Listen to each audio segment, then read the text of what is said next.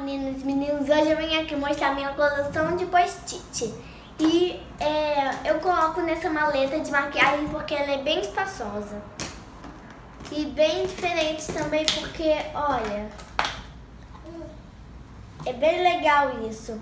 E olha, aqui em cima tem esse caderninho de, flor, de margaridas que tem esses post-its aqui, marcadores de várias cores e esse verde médio.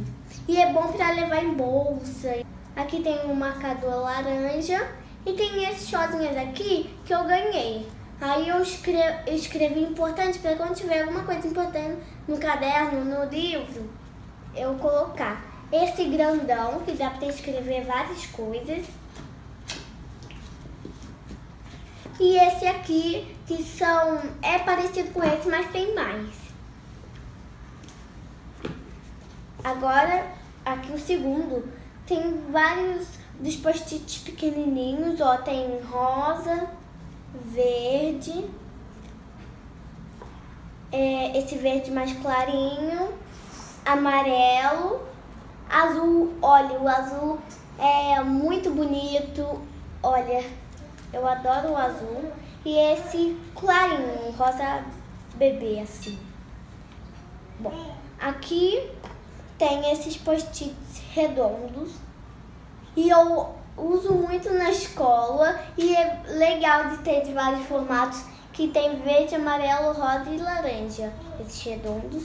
Aqui tem esse post-it que eu acho lindo de beijinho. E tem esse grandão e quadrado, laranja, esse rosinha bebê, amarelo, rosa forte e verde.